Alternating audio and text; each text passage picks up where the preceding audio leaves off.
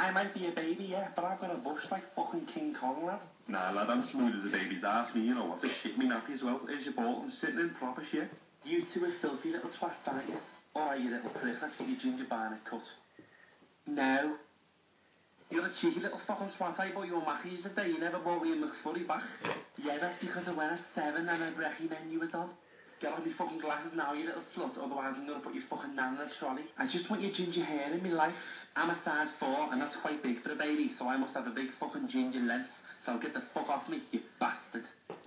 Just been thinking, uh, mate, no, because we're dead naughty and that. I think we should change our name to the Rug Twats.